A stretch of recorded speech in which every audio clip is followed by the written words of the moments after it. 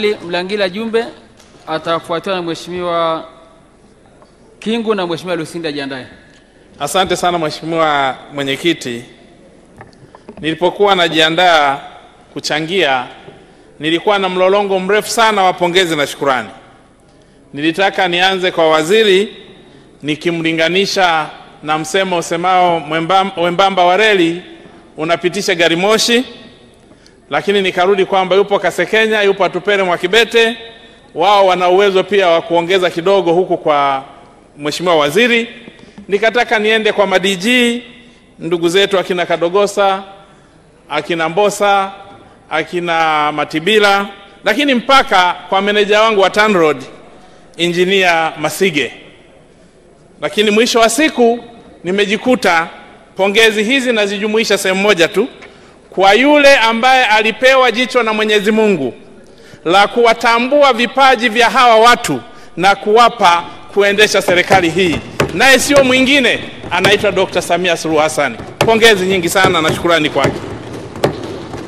Shukurani hizi mheshimiwa, zinakuja pia kutoka kwa wanakiela. Ni hapa juzi tu tulipata janga la kukatika daraja pale Mbasi. Nilipopiga simu moja tu kwa mheshimiwa waziri, daraja pale tayari. Mheshimiwa Waziri, nataka nikwambie daraja liko tayari, injinia Masige keshafanya mambo. Daraja lile mwisho wa siku mpaka wiki ijayo litakuwa linaanza kupitika. Asante sana wananchi wa Ngonga, wananchi wa Katumba Songwe, wananchi wa Ikolo, wanakushukuru sana Mheshimiwa Mwenyekiti. Pamoja na haya, ni lazima nitoe shukurani kwa mambo makubwa yaliyofanyika Kyela. Barabara ya Ibanda Itungi Poti kwa mara ya kwanza katika historia ya Tanzania imekuja kuwekewa saini pale kiela na ndipo tulipoanzia. Hii ni historia kubwa kiela kuanzisha, na haya ni mapenzi ya Mheshimiwa Rais Samia Suluhu kumtuma waziri kuja hapo. Mheshimiwa Mwenyekiti, kuna mambo mengi yanaenda kufanyika. Tunaanza kujenga barabara ya Katumba Songwe Ileje ambayo tayari imeshaanzia upande wa Ileje inarudi huku. Hii ni heshima kubwa, lakini kuna madaraja makubwa Ipiana, daraja la Bujonde, daraja la Ilondo. Haya ni mambo makubwa ambayo tunafanyiwa, shukrani nyingi sana. Pamoja na hayo, Mheshimiwa Mwenyekiti, nimeona leo nitoe pongezi kwa waziri na wizara yake kwamba kwa mara ya kwanza sasa nchi yetu inaanzisha mfumo mzuri sana wa ujenzi wa barabara pamoja na sehemu zingine za bandarini. Haya yote yanatokea kwenye mfumo wa PPP.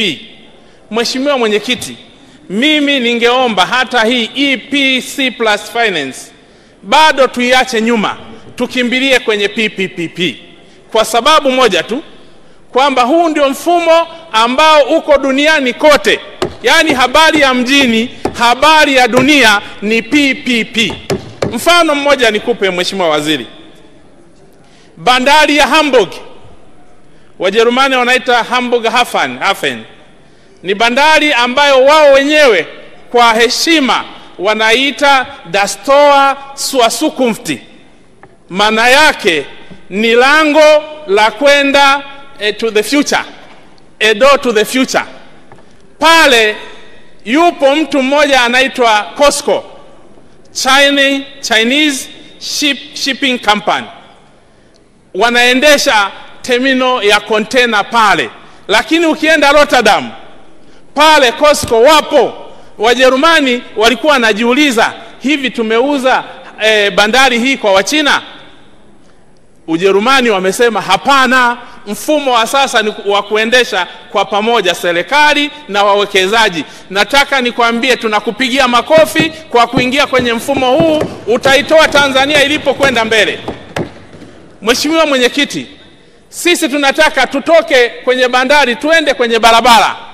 Mfumo wa sasa wa ujenzi wa barabara, kwa pesa tulizo nazo hatutaweza kusonga mbele kwa kutumia pesa za nchi hii. Ni lazima tuweke uwekezaji, na tunashukuru tayari umeshaanza. Mheshimiwa Waziri, pongezi nyingi sana.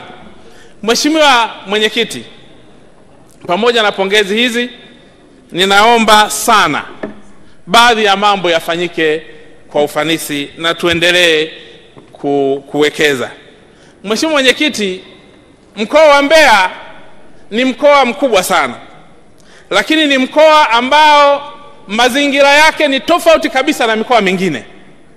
Ninachokiomba ni kwamba, Mheshimiwa Mwenyekiti, tunapojadili na Mheshimiwa Waziri, unapofikiria juu ya kutoa bajeti kwa mkoa wa Mbeya, kwa barabara za mkoa wa Mbeya, usiwaze jinsi ya, ku, ya kugawa.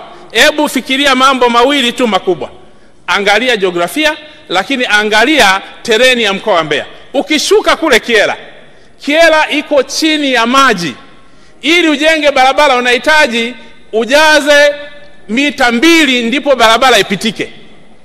Ukitoka Mbeya, ukitoka Kiera kilomita hamsini tu, ukipandisha Rungwe, ukifika Mbeya, barabara inahitaji ukate milima mita sita. Haya hayatokee mahali pengine, yanatokea Mbeya, na ndiyo maana nataka nikuombe Mheshimiwa Waziri, leo hii barabara imeshindwa kutoka Matema kwenda Ikombe, na niliwahi kusema hapa, watu walishangaa kwamba hii ni Tanzania au uongo, na kuna watu walinifuata wakaniuliza, unachokisema ni kweli? Niliwaambia kijiji cha Ikombe tangu kuumbwa kwa dunia hawajawahi kuona dunia, hawajawahi kuona gari. Watu wakashangaa. Nataka niseme ni kweli, hakuna gari, lakini kibaya zaidi, tangu tumeanzisha dunia hii, kila mbunge anayeenda kule analiliwa kilio. Ukifika mimi naanza kuogopa kwenda. Nimeenda mwezi juzi, wananchi badala ya kunipokea wakaanza wakaanzisha misiba. Hiyo misiba ni ya nini, Mheshimiwa Mwenyekiti? Ni misiba ya akina mama ambao walishindwa kujifungua kwa sababu ziwa lilichafuka, wakashindwa kuja Matema, wana mama wamefariki na mimba. Mheshimiwa Mwenyekiti, hii ni nchi ya Tanzania ambayo inaendeshwa na mwanamke mwenye uchungu. Nataka niombe barabara ya kutoka Matema kwenda Ikombe, tafadhali sana, wananchi wamelia, wamechoka, hatutaki tuendelee na, na, na, na, na, na misiba. Mheshimiwa Mwenyekiti, haya ninayoyasema wananchi wanayasikia, na Tanzania sasa iangalie, kuna sehemu ambazo ni lazima ziwe za kipaumbele, hata pamoja na kwamba bajeti ni finyu, lakini wapo wananchi ambao wanahitaji huduma hii kwa muhimu. Mheshimiwa Mwenyekiti, nakushukuru sana na naomba kuunga mkono hoja hii. Asante sana Mheshimiwa Jumbe.